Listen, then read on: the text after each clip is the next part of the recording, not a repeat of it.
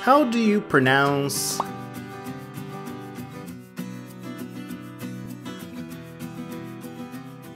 transverse process of atlas? Transverse process of atlas.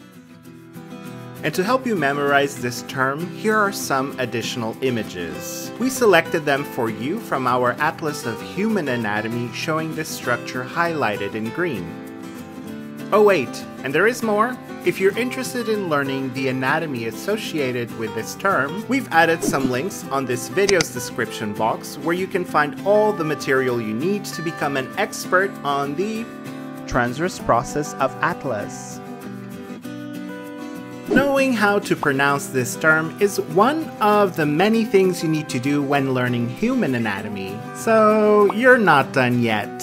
Continue learning with our fun videos, interactive quizzes, detailed articles, and stunning atlas connected to this term. Click on the button in the middle to find everything you need to become a master in human anatomy.